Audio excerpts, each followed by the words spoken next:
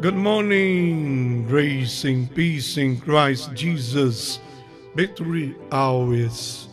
Welcome to Five Minutes with God Daily Devotional. I am Eduardo Alves, and five minutes your life can change. 2024, year of hope, month of February, Jesus is my rock. Living enthusiastically for God. Gospel of Mark, chapter 9, verses 50 says, Good salt is worthless if it is lose its salt flavor, cannot season anything anymore. So don't lose it, your flavor.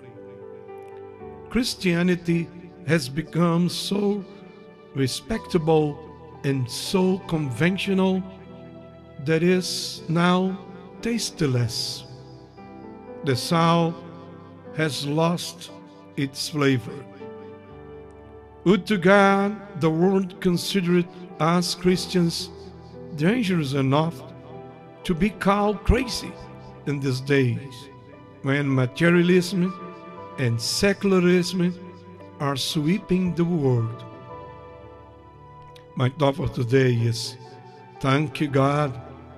There are those who sacrifice times, talents, social positions, and lucrative positions, and who discard all advantages to serve the kingdom of God.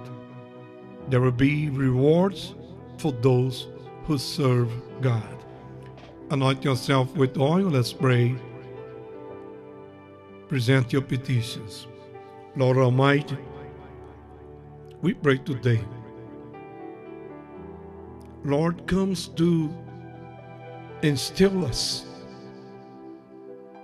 with the same flavor that the disciples demonstrate when they leave with so much enthusiasm for you.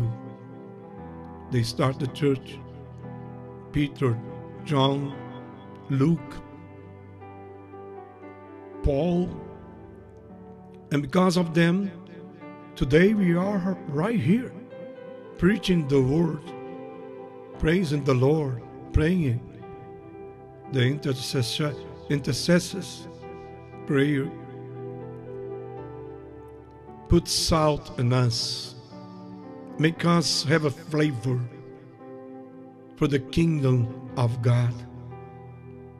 We pray for the sick today, heal them. Set your people free from all evil. And bless us with your peace and bless those who are in need. Open doors and make great things in their lives.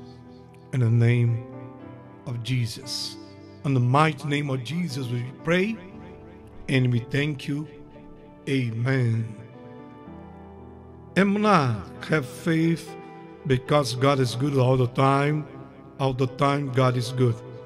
I want to invite you to our Sunday morning online celebration service right here on those channels.